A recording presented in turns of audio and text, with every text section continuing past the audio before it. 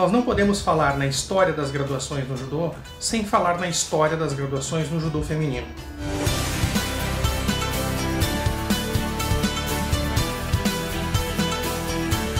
Vocês estão assistindo Kogi Mondo, Papo de Judô com Luiz Pavani. Se é sua primeira vez aqui no canal, não deixe de clicar no botão inscrever-se e acionar o sino com a opção Todas. Assim você fica sabendo em primeira mão todas as novidades do canal. E já que estamos num papo de judô, não esqueça de deixar seus comentários aqui abaixo. Eles são muito importantes para nós. Se você gostou, escreva judô nos comentários. Muito bem, então, vamos para o nosso papo de hoje.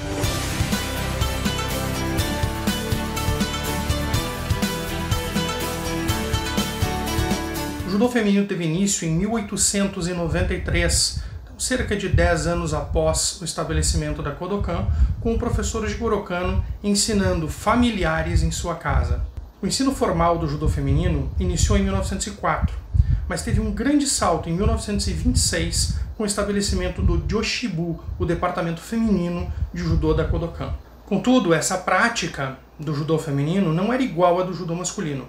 As mulheres não era permitido fazer o randori, e também não era permitido participar de Shiai.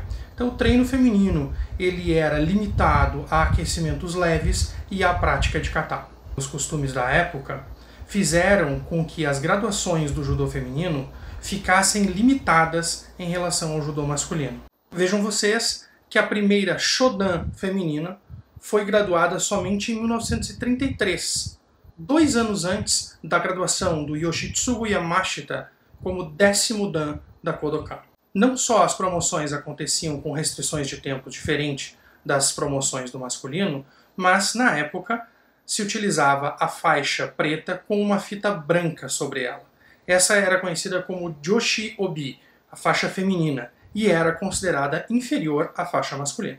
Essa relação de inferioridade das graduações das mulheres com relação aos homens pode ser vista de maneira muito clara no livro Judo Kodokan, que lista os contribuidores, sendo que lista as mulheres, mesmo que mais graduadas, depois dos homens. Como nós comentamos, em 1933, a primeira mulher, chamada Katsuko Kosaki, foi graduada Shodan.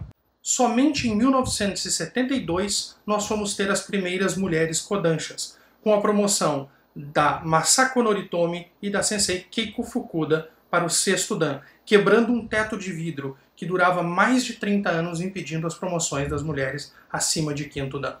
A sensei Keiko Fukuda, por sua vez, é a mulher mais graduada da história da Kodokan e a única já promovida à faixa vermelha nono dan, promoção essa que aconteceu somente em 2006. O décimo dan da sensei Keiko Fukuda, outorgado pela Organização de Judô dos Estados Unidos e reconhecido por inúmeras organizações do mundo, não é uma graduação oriunda da Kodokan, que jamais graduou uma mulher ao décimo dan o uso da Joshiobi, a faixa feminina com a tarja branca, permaneceu inalterado até o final da década de 90, quando foi proibido pela Federação Internacional de Judô em competições internacionais.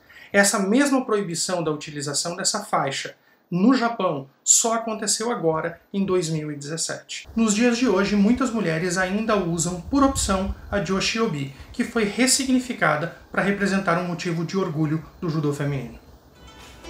Se você gostou da nossa conversa de hoje, deixe seu joinha, inscreva-se no canal e compartilhe com seus amigos.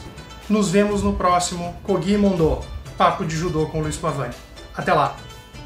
Nos próximos vídeos vamos conversar mais sobre história, técnica, arbitragem, expressões do judô e muito mais. Confira um pouquinho do que vem por aí.